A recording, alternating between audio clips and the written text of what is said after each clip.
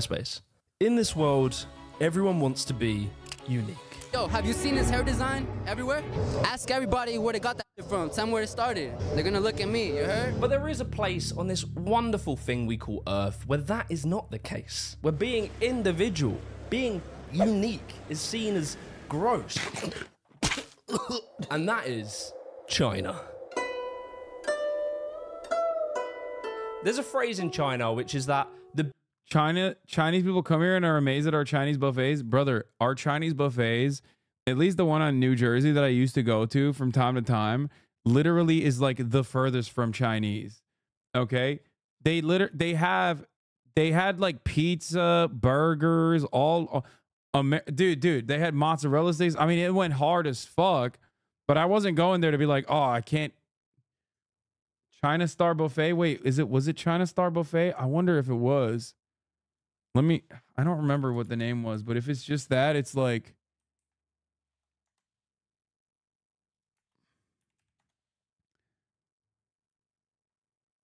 Was it China Star Buffet? I don't fucking remember, but there's a place Dude, it was so good. That's how you know they got good Chinese. Listen, listen, listen. There was oh my lord. Oh my lord, dude. They had everything, dog. They got everything on Route 18. I think it might have been on Route 18. I don't remember. Dude, fuck. My mouth is watering thinking about that shit, dude. Fuck. The big tree, the tall tree, attracts the wind and it destroys them. That's bad. Happened to today's subculture, which is the Shamate. Shamate.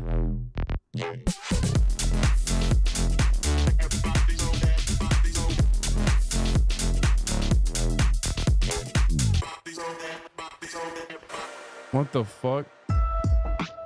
At first glance, you'll probably see him and you'll think, Jimmy, that's an emo. And this is where I'll say, my friend, come closer. I'll put you uh I know. Come closer. Let me tell you about the, the origins and the nuances.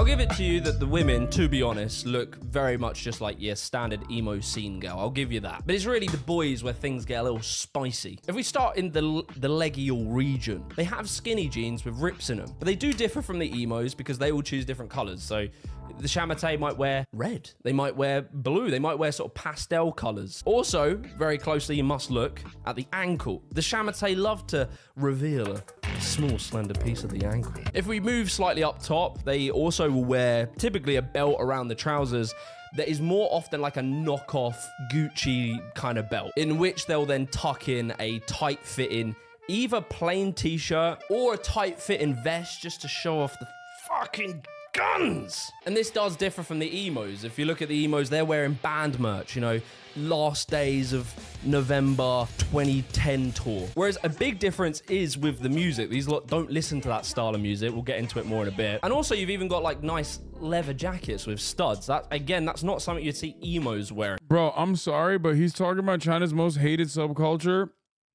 in 2024. And I assume they hated it into oblivion. Like they ended this subculture. They must have, because every photo he's using is circa 2010.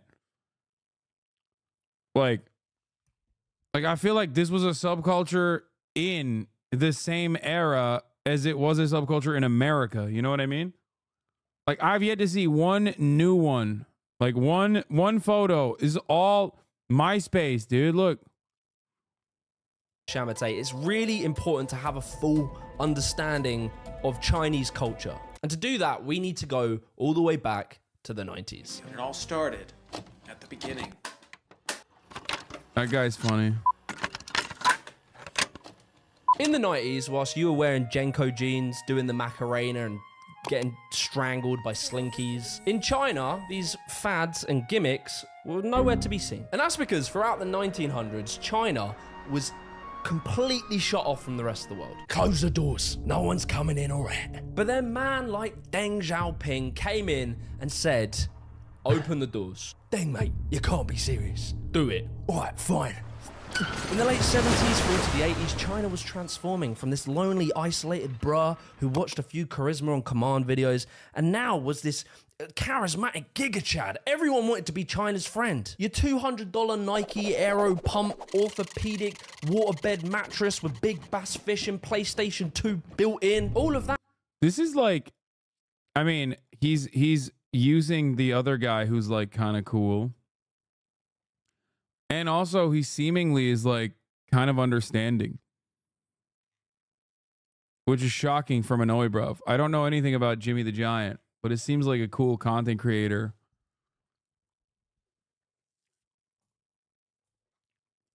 Like he's like not instantly talking about the Chinese as though they're like some scary alien or some shit. That was being made by 10 year old Li Ming, who was chain smoking cigarettes in his last 16 hour shift in the sweatshop, making 20p an hour. And for the big businesses, the factory owners, the government officials, this was pretty ideal. But for the factory workers, it wasn't so ideal.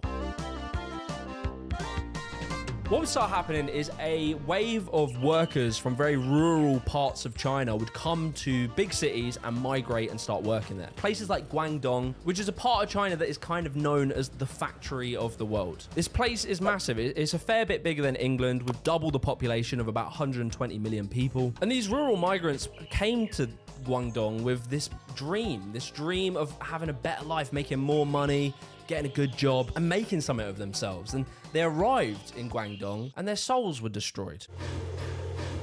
They would literally be paid pennies an hour to manufacture goods for the Western world, working ridiculously long shifts in these horrible conditions that literally had nets surrounding the building to stop people jumping It's funny when people go, "Wow, that's really fucked up." I can't believe they're like yelling at this guy, or I can't believe he's saying these things. It's also not false. Like, what the fuck?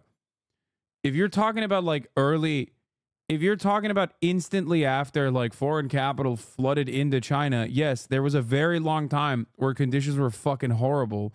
It's not wrong. It's it's this is correct. He's he's right about this.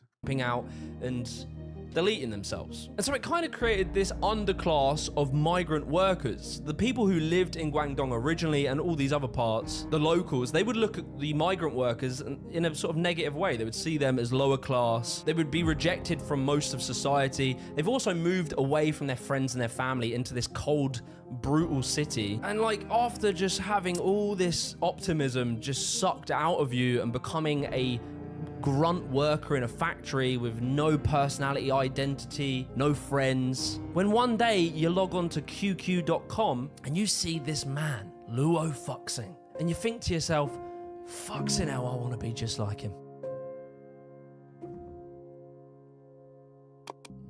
Luo had actually started to set up groups on popular social networks like QQ and, and Tieba, and he would make these groups called the Shamate family. He actually created the term Shamate by looking into fashion. You know, he, he developed this new interest and he was looking at English websites and he saw the word smart and he kind of poorly translated it back into Shamate. And, and so, like, the Shamate family group started to just organically grow. And Luo Fuxing was like the be all and end all. He was the kingpin, he was the leader of these groups. And they were very organized. He would do things like Yeah, I'm not like um I'm not an advocate for the liberalization of the marketplace, especially as it pertains to China or any other country. I simply am stating that what the government does with that foreign capital flowing in is what matters. I just want to point that out. And and China's prosperity has almost nothing to do with the foreign capital coming in as a standalone. It just because if you look at foreign capital, then you could just point to India. Plenty of foreign capital is flooded into India as well.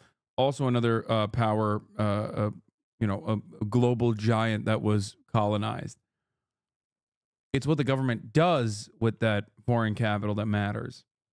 It's like tell everyone to go and invade different forums on different websites, on Baidu and Tianya, And they would post their pictures promoting their hairstyle, promoting the shamate. And this kind of spread the group even further, leading to him organizing these offline gatherings in person.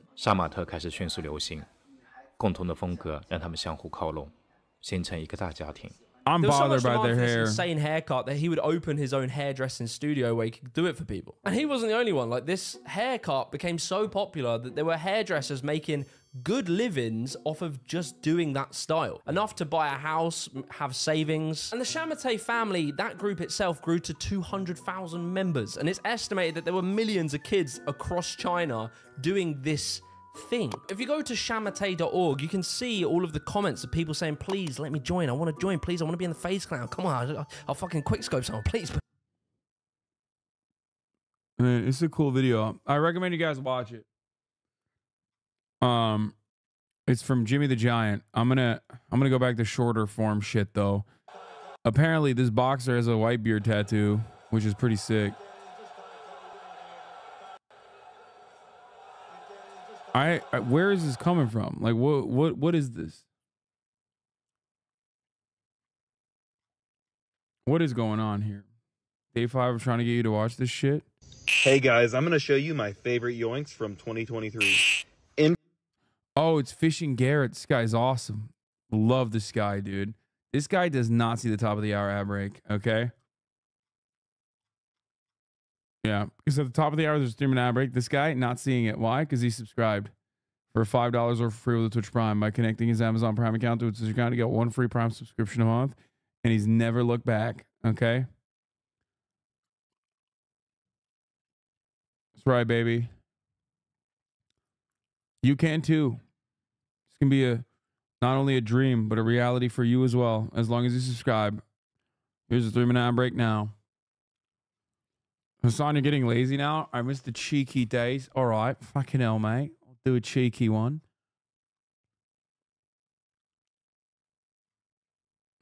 In Puerto Rico, me and my buddies found this 15 foot reticulated python. Yoink. This is one of the most powerful snakes I've ever grabbed a hold of. He was incredible. We also got some hatchling retics and some albinos. So cool. Check out this Oh. gnarly centipede. You know I had to yoink it. This thing is Bro, this shit is like like Alveus times a million. What the heck? so sketchy. Gotta show some love to the smoky jungle frogs. Absolutely love this beautiful rainbow boa. You get a very gentle yoink. By far the most gorgeous snake I've ever seen. Right here we have a spectacled caiman trying to escape the yoink. This yellow-tailed Cribo is probably my favorite yoink so far. This thing was massive. He's the king of the jungle out here. He even eats the deadly bushmasters. I love him so much. Definitely a yoink I won't forget. Here's a little jump scare for whoever has arachnophobia. We can't Wait, what? Does that have one eye? What is that? Look at that.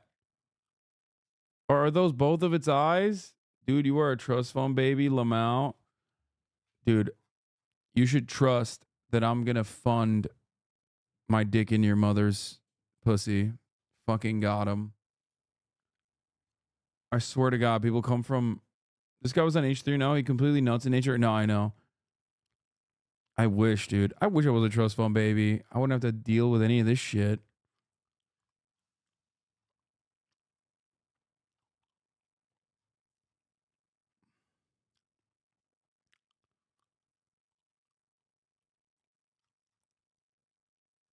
I have two tarantulas. So what's up with the fucking eyes?